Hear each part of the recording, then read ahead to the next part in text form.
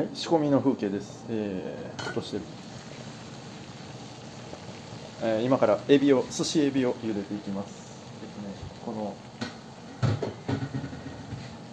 横ではみりんを煮切ってます。えー、みりんは全然エビと関係ないです。でこれはあのお湯の匂い？お酒がふわーって上がってくる匂いとお塩、えー、入れてます。お,、ね、お湯の中にお酒入れたらいい匂い香るの分かりますかね、えー、なんか懐かしい、ね、昔はどこの家でもこんなんやったなっていう。匂いなんですけどまあいいや。それを。よしここにこう串打った。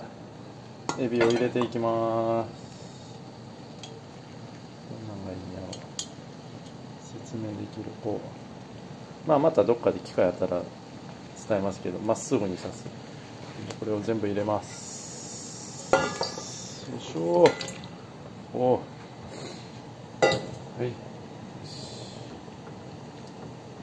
こう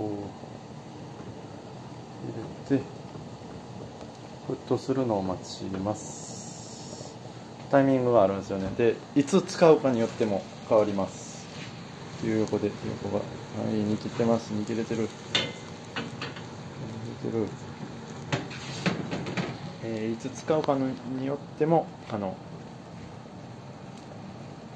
茹で加減変わります。本当今食べるんやったらもうこれぐらいでも全然美味しいただね3日まで持たせるとかいうことやったらだいぶ長く火を入れて茹でる必要がありますけど。さあ今日はえー、これは今日夜使うんでもうちょっと。全体が泡がもうちょっと出てきてエビが浮き上がったらにします。3分ぐらいかな。入れ出したから。はい、もうちょっと待ちます。でもほら赤くなってきたでしょ。